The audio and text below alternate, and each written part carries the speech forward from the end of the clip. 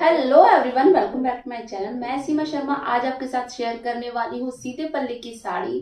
अगर आपको पहनने में आपको प्रॉब्लम आती है तो इस वीडियो में मैं बहुत ही इजी ट्रिक आपके साथ शेयर करने वाली हूँ क्योंकि इस वीडियो में मेरे पास काफ़ी रिक्वेस्ट आ रही थी सीधे पल्ले के लिए कि मैम कुछ ऐसे ट्रिक बताएँ जिससे कि हम सीधे पल्ले की साड़ी पल्लू के साथ पहन सकें। तो इसमें मैंने पल्लू लेना भी बताया है कि किस तरीके से आप जो पल्लू आपका गिर जाता है अगर आप पल्लू लेते हो सीधे पल्ले में तो पल्लू गिरता रहता है। ऐसा नहीं होने वाला है। पल्लू भी आपका सेट रहेगा और सीधे की, सीधे पल्ले की साड़ी भी आप काफ़ी इजीली पहन पाओगे। बस आपको करना क्या है, इस वीडियो को लास्ट तक देखना है और अगर आपने मेरे चैनल को सब्सक्राइब नहीं किया है तो जल्दी से सब्सक्राइब कर ले काफ़ी अच्छी अच्छी वीडियोस देखने के लिए। एंड इंस्टाग्राम को भी फॉलो नहीं किया है तो फॉलो कर सकते हैं। तो तो चलिए स्टार्ट कर लेते हैं. लेट गेट स्टार्टेड यहाँ देखिए, ये मेरी पर्पल कलर की साड़ी है और इसमें कुछ एम्ब्रॉयडरी हुई है और इसमें रेड कलर का कॉम्बिनेशन है तो काफ़ी अच्छा लग रहा था पर्पल के साथ रेड कलर और फ़र्स्ट राउंड इस तरीके से इन करना स्टार्ट करते हैं. मैंने थोड़ा सा राइट हैंड की तरफ़ से इन करना स्टार्ट किया है क्योंकि इसमें से मैंने अभी ब्लाउज़ नहीं काटा है तो नहीं निकाला इसीलिए. ताकि ये जो आगे एम्ब्रॉयड्री है जब हम प्लीट्स बनाएँ तो आगे की प्लीट्स में आए। इसीलिए मैंने थोड़ा राइट हैंड की तरफ़ से इन करना स्टार्ट किया है। इसके बाद से हमारा फ़र्स्ट राउंड कंप्लीट होने के बाद से हम यहाँ पर पल्लू बनाते हैं इस तरीके से। यहाँ पर आप देख रहे हैं बॉर्डर थोड़ा सा चौड़ा है। और बॉर्डर से थोड़ी सी चौड़ी हमने साड़ी रखी है, यानी पल्लू की प्लीट्स की चौड़ाई हम अपने अकॉर्डिंग देते हैं।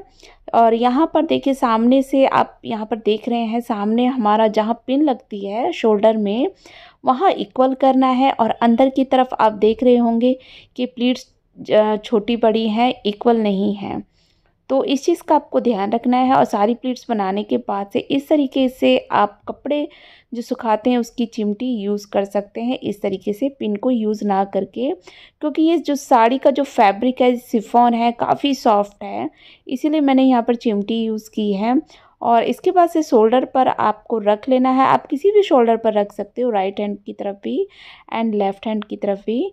और इसके बाद से इस तरीके से थम से आपको सारी प्लीट्स बनानी है और यहाँ सामने से इक्वल करना है।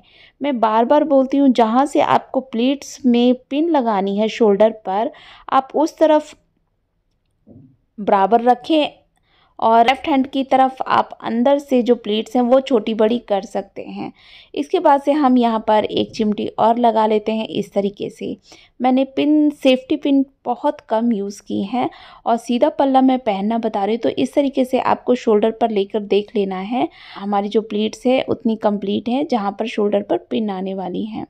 इसके बाद से बैक साइड से आपको पल्लू लेके आना है इस तरीके से और शोल्डर पर रखते हुए राइट हैंड की तरफ़ इस तरीके से। आप यहाँ पर देखें कि हमें पल्लू की जो लेंथ है वो कितनी रखनी है। ठीक है, अब काफ़ी लोगों को साइड में समझ नहीं आता है कि हमें साड़ी कितनी छोड़नी चाहिए। इसके लिए भी मैं बताती हूँ, काफ़ी लोगों को सर पर पल्लू लेना होता है। तो इस चीज़ का आप ध्यान रखिए, सर पर पल्लू लेते हुए साइड में थोड़ा सा आपको फैब्रिक छोड़ना है, ताकि आपका पल्लू खींचे ना। और यहाँ पर आप देख सकते हैं, जहाँ पर आपकी कमर है, वहाँ से आप साड़ी को लेते हुए प्लीट्स बनानी स्टार्ट करें।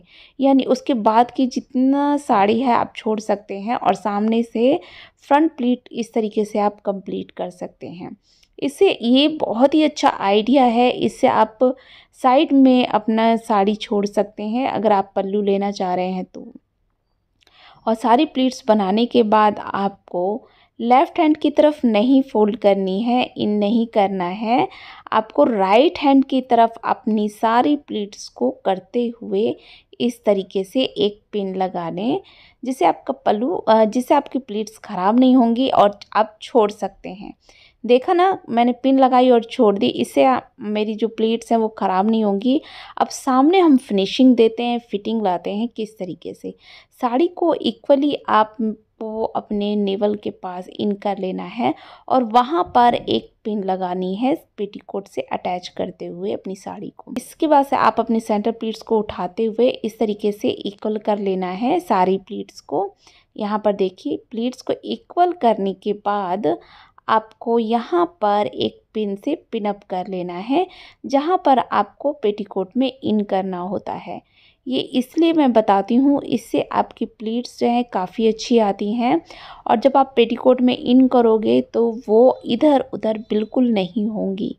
इसीलिए मैं बोलती हूँ, वहाँ पर आप पिन लगाएँ और साइड में आप इस तरीके से अपनी साड़ी को अच्छे से इन कर लें। फ्रंट प्लीट्स आप देख सकते हो कितनी अच्छी आई हैं निकल के। अब इसके बाद से सारी प्लेट्स को इस तरीके से करते हुए सामने भी आप पेटीकोट के साथ अटैच कर सकते हो, जिससे आपकी प्लेट्स इधर उधर नहीं होंगी, निकलेंगी नहीं और एज इट इज़ रहती हैं। इसके बाद से आप शोल्डर पर अब हम पल्लू लेते हैं किस तरीके से ले। नेवल से आपको दो से तीन उंगल नीचे की तरफ़ आपको मेज़रमेंट लेना है और सामने सीधे पल्ले की जो लेंथ है, इतनी ही रखनी है। जिनकी का जिनकी कम हाइट होती है, उनको थोड़ा ज़्यादा ध्यान रखना है इस चीज़ का। जिनकी हाइट काफ़ी अच्छी है, वो लंबा भी पल्लू ले सकते हैं। और इसके बाद से आप एक साड़ी का, पल्लू का एक कॉर्नर लेके बैक साइड में लेफ़्ट हैंड की तरफ़ भी आप लेके जा सकते हैं। बट अभी मैं आपको सामने की प्लीट्स को इस तरीके से एडजस्ट करना बता रही हूँ। दोनों बॉर्डर आपके सामने आए।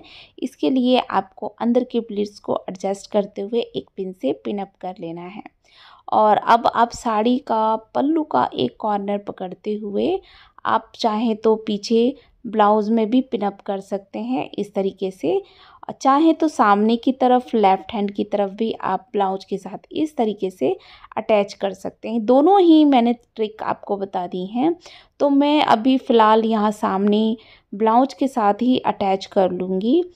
मैं अभी ऐसे ही करने वाली हूँ। अगर आपको ऐसे अच्छा नहीं लगता तो आप बैक साइड में भी एक कॉर्नर को ब्लाउज के साथ अटैच कर सकते हो।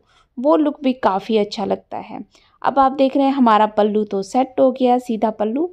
परफेक्ट है। अगर आप पल्लू लेना नहीं चाहते तो आपकी साड़ी कंप्लीट हो चुकी है। इस तरीके से अब आप अपनी ज्वेलरी सेट कर सकते हैं, पहन सकते हो। इसके बाद से अब काफ़ी लोगों को क्या होता है ना, सर पर पल्लू लेना होता है, इस तरीके से वो नहीं ले सकते हैं।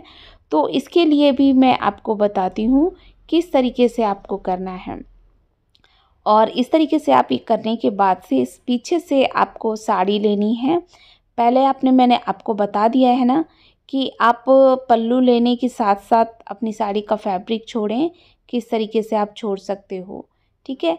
अब इसके बाद से पीछे से पल्लू को ले और दूसरी साइड आपको थोड़ा सा फैब्रिक छोड़ना है ताकि आप सर पर पल्लू लें तो वो खींचे ना, ठीक? सेट नहीं करते हो तो सर पर पल्लू रखोगे तो इस तरीके से वो सरकता रहेगा सरकता रहेगा, गिर जाता है। बहुत प्रॉब्लम होती है। अब यहाँ पर सेफ्टी पिन लेनी है हमें।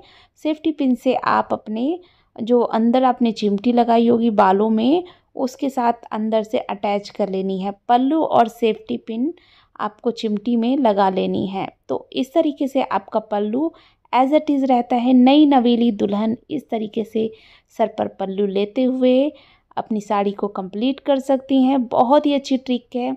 आपको कैसी लगी ज़रूर मुझे बताना। Thanks for watching bye